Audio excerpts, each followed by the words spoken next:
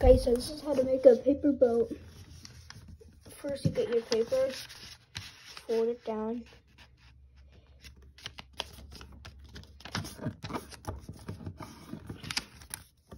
Like this. Like this. Alright. Then what you do is you fold it in half. Like this. And then you unfold it. Fold these corners to the middle.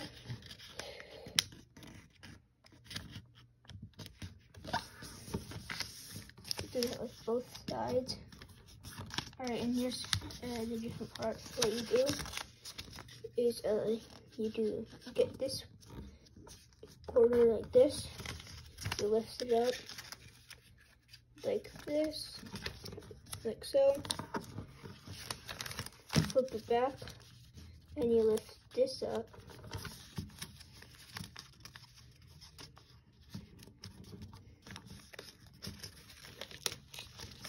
Then what you do is you get this, lift it up like this for both sides.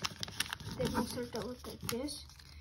Then this is the weird part. So what you do is you open it up like this, and then you do that basically.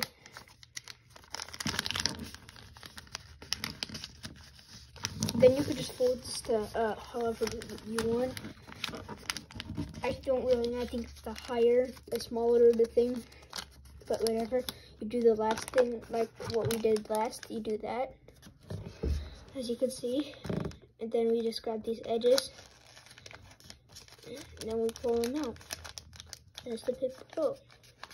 Or what you could do to kind of make a little mask you can get this. This is what I did to, to make one a paper helmet, but then it ends up like this. And you can kind of put it on your face. But I just use small paper. So that's a tutorial.